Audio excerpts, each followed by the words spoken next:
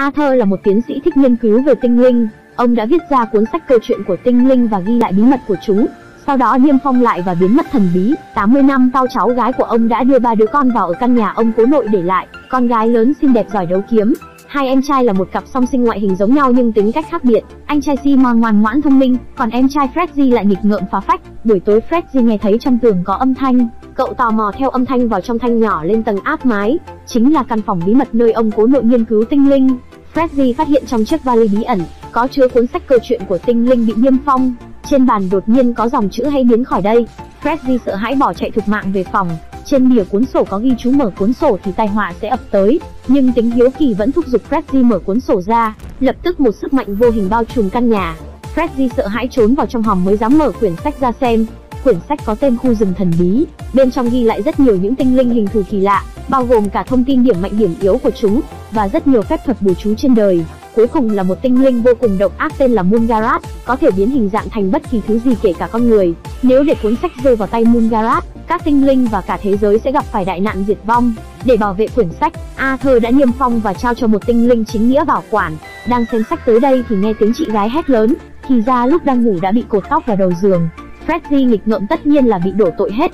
Sau khi đọc quyển sách cậu giải thích đó là do tinh linh, bởi vì tinh linh muốn bọn họ rời khỏi nơi nguy hiểm này. Tất nhiên cả nhà làm gì có ai tin lời của cậu, và để chứng minh cho sự trong sạch của mình, Freddy dùng một miếng bánh quy và mật ong dụ tinh linh Tim Black ra. Quả nhiên không lâu sau Tim Black đã xuất hiện. Tim Black nói với Freddy rằng, quyển sách này là do cụ tổ Arthur của mình viết ra.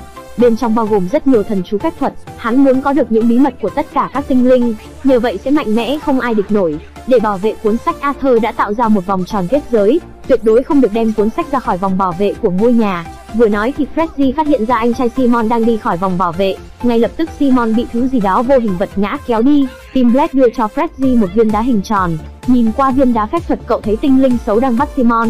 Thấy Simon bị bắt, Freddy lập tức mang theo cuốn sách chạy theo vào khu rừng thần bí. Rất nhanh cậu đã tìm được địa bàn của tinh linh xấu xa, thấy anh trai mình đang bị chúng nhốt trong lồng sắt. Bên cạnh Freddy là một tinh linh lợn bị Mungarat bắt giữ. Trước đây Mungarat đã giết gia đình của tinh linh lợn, nên bây giờ nó đến để báo thù cho gia đình. Freddy lập tức giải cứu nó ra, để cảm ơn tinh linh lợn nhổ một ngụm nước bọt vào mặt Freddy. Tuy rất là khắm, nhưng Freddy liền có được năng lực nhìn thấy tinh linh.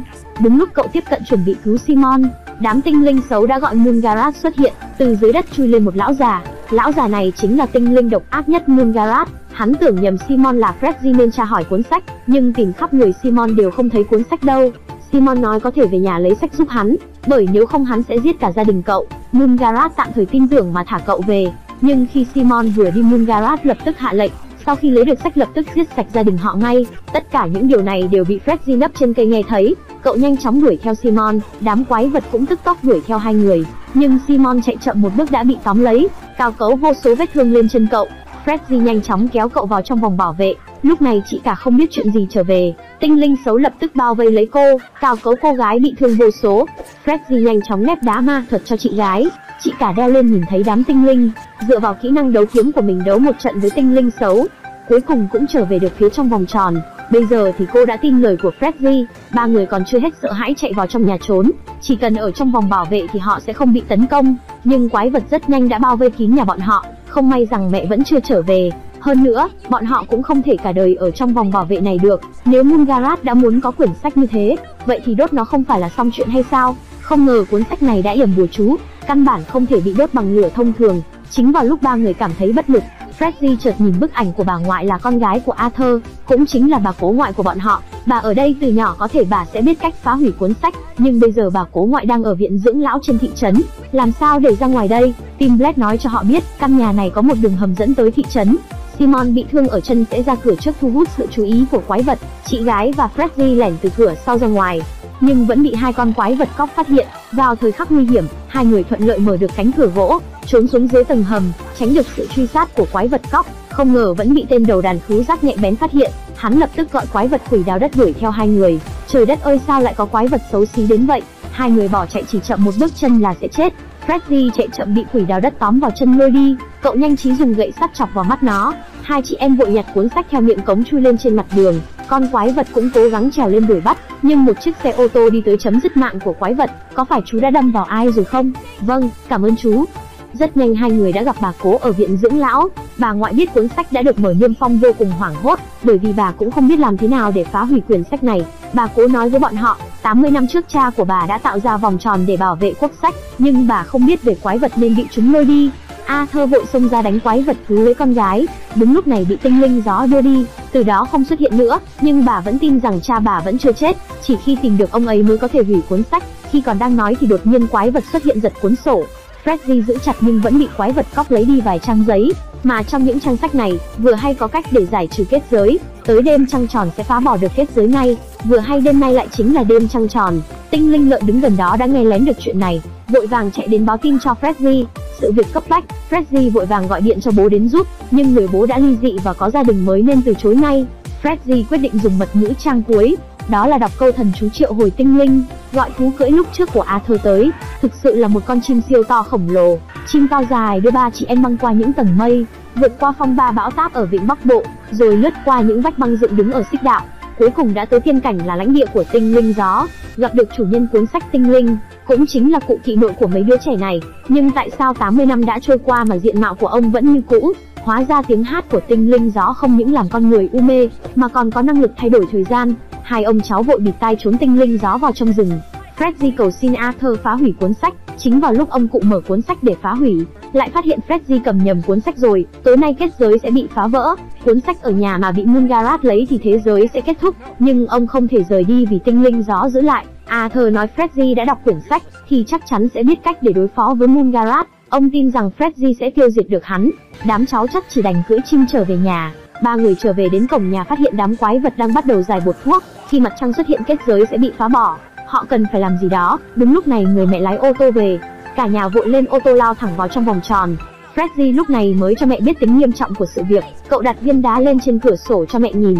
Người mẹ tận mắt nhìn thấy lũ quái vật cóc đang nhảy nhót hung hăng, cũng bắt đầu hành động để bảo vệ căn nhà. Bốn người dùng muối có thể ngăn lũ quái vật cóc giải khắp các cửa và cửa sổ, tạm thời có thể ngăn chúng vào nhà. Lúc này Mungarat đã tới, dưới ánh trăng chiếu rọi, loại thuốc đặc biệt đã giải trừ vòng tròn bảo vệ của kết giới. Quái vật cóc bắt đầu đồng loạt tấn công. Bên trong mọi người cầm vũ khí trên tay chờ đợi trong sợ hãi, nhưng khi chúng phát hiện cửa có mối liền thay đổi chiến thuật, chúng đột nhập vào trong từ sàn và mái nhà. Bốn người liều chết phản công, cứ xịt sốt cà chua vào là chúng bị tiêu diệt, nhưng thực sự địch quá đông và hung hãn, đấu không lại họ chỉ đành rút vào phòng trong. Đúng lúc này Mungarat cũng đã xuất hiện, cả nhà sợ hãi chạy vào trong bếp, nhưng xem chừng căn phòng này cũng không trụ nổi bao lâu.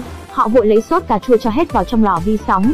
Đợi đến khi lũ quái vật cóc tiến vào trong phòng bếp, Freddy đốt dầu được giải trên mặt đất từ lâu, kết cục là ngọn lửa men theo gây ra một vụ nổ. Nước sốt cà chua bắn tung tóe tiêu diệt hết tất cả quái vật cóc. Bốn người chui dưới gầm bàn bò ra đã thấy chẳng còn con nào. Nguy hiểm đã giải quyết cuối cùng cũng được thở phào hai cái. Nhưng chính vào lúc này bên ngoài có tiếng gõ cửa. Hóa ra là cha của đám trẻ đã đến. Thực ra là Mungarat biến thành hình dạng của ông bố Freddy, muốn lừa lấy cuốn sách trên tay cậu. Thời khắc then chốt Freddy dường như cảm nhận được gì đó. Cậu hỏi rằng ngày xưa con hay là Simon hay đáy dầm. Thấy đối phương không thể trả lời Freddy nhận ra hắn không phải là bố, cậu liền lấy con dao đâm thẳng vào tim. Ôi trời ơi, Mungarat bị đâm lộ ra khuôn mặt thật, hắn biến hình trở thành một con quái vật gớm ghiếc, chắc hẳn vợ cũ của hắn đã cắm rất nhiều sừng lên đầu. Nhóm người cố gắng phản kháng nhưng sức lực quá chênh lệch. Freddy vội ngồi vào thang máy chạy lên gác xếp, Mungarat lập tức biến hóa thành con rắn lớn đuổi theo. Rất nhanh đã đối kịp Freddy lên gác, Freddy gặp nguy hiểm Team Black chạy đến giúp đỡ, kết cục bị ném bay ngã xuống ngất lịm.